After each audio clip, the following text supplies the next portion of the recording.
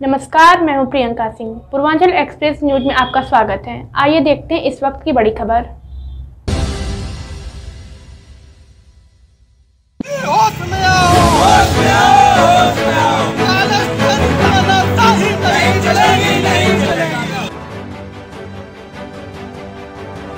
DAV PG college Azamgarh के छात्रों ने कॉलेज गेट पर प्रबंधन समिति का पुतला फूका।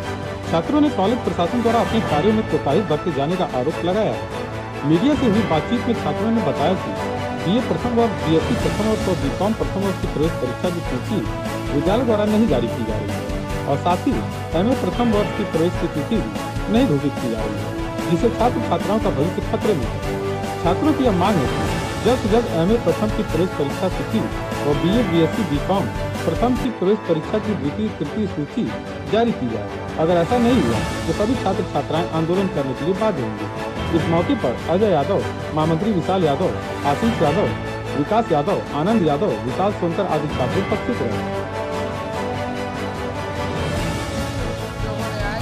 प्रशासन के रवैयों को लेकर जो कॉलेज प्रशासन हमारा सेकेंड लिस्ट नहीं जारी सेकेंड और थर्ड थर्ड लिस्ट नहीं जारी किया है बच्चे एंट्रेंस एग्ज़ाम दे के इधर उधर भटक रहे हैं वह अन्य कॉलेजों में जाके अपना दाखिला करवा रहे हैं यहाँ पे न सेकेंड लिस्ट जारी करा जाएगी न थर्ड लिस्ट जारी कराई जा रही है क्या चाहते हैं आप लोग?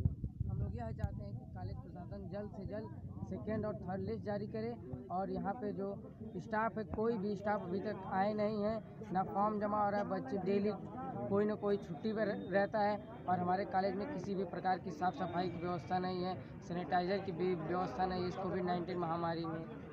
तो किसका पुतला फूक आप लोगों ने? आज हम लोगों ने प्रबंधक समिति प्राचार्य का पुतला फूका है।